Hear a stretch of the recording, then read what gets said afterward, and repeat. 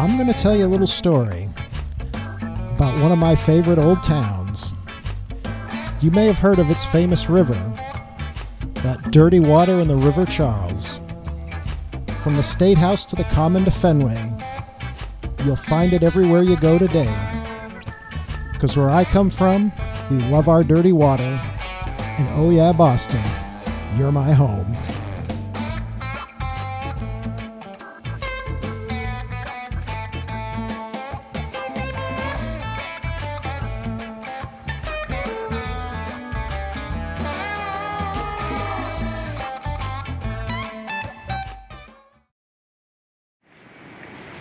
Today, I'm joined by my friends Jake and Amanda.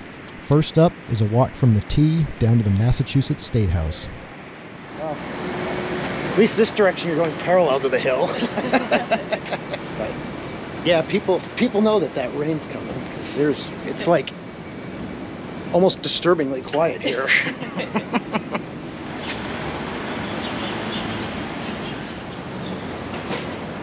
the state capital, we've got cheap hookers. because yes, I still have the sense of humor of a 12-year-old.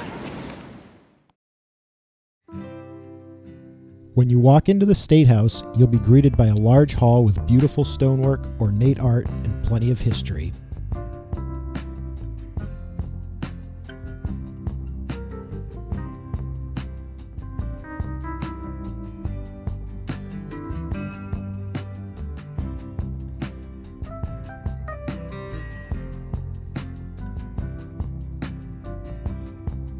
Next up is the Great Hall of Flags, where you'll find the flags of every town in the Commonwealth. And if you look close enough, you can even find the flag of your own hometown.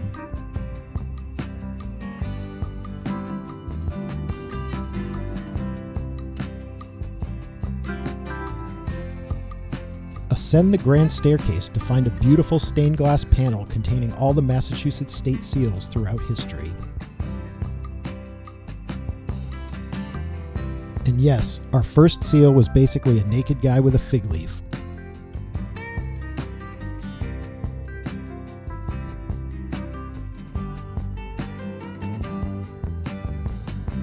And if you're wondering what's underneath the big golden dome, that would be the state senate.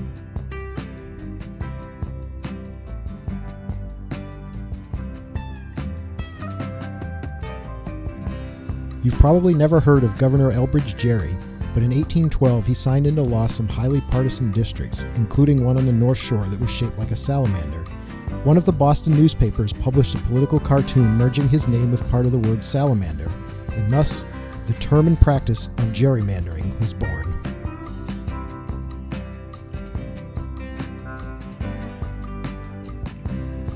As we get ready to leave to walk down to the Common, turns out Mother Nature was cooking up a rather nasty surprise for us outside.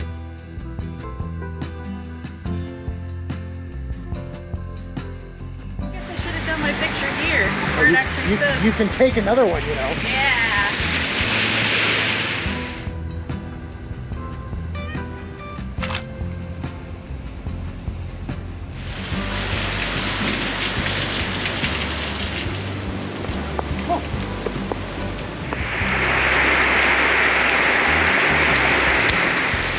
Beacon Hill in the rain, walking up and down hills in the pouring rain.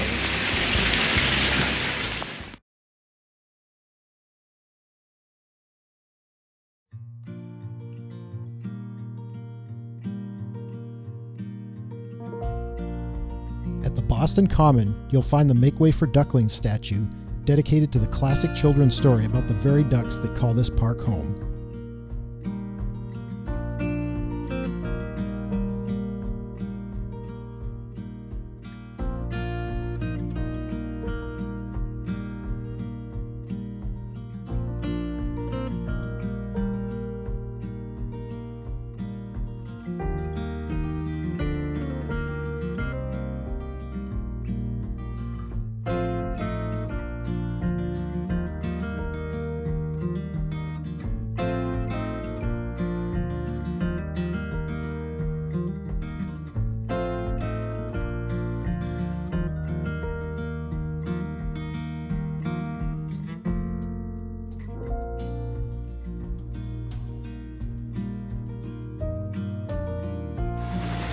Yeah, you think we can have a Steve Irwin moment with these ducks right in the middle of downtown Boston?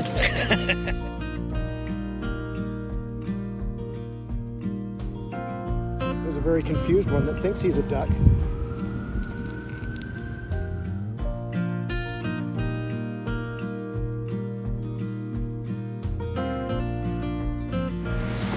But yeah, we didn't really come prepared, but we're starting to dry out after the rain. The sun's back out. But we're gonna head back for the T and head on out of here because get some um, proper dry clothes.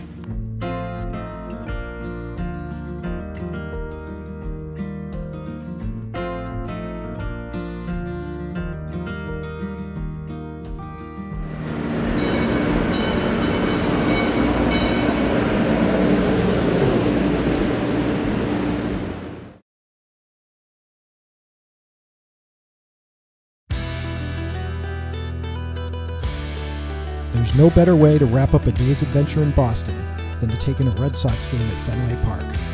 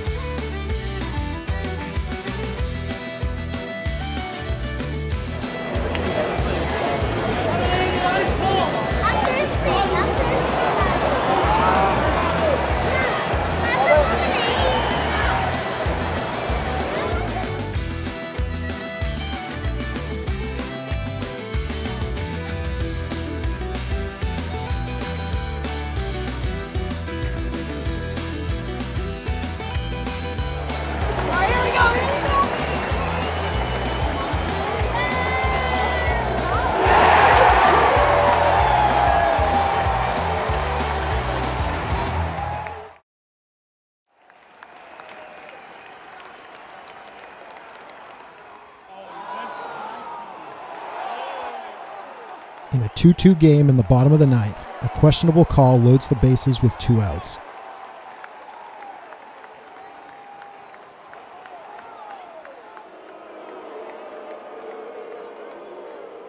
After the manager and umpire exchange pleasantries, both the game and our day end in truly grand fashion. And as they say here in Boston, cue that dirty water.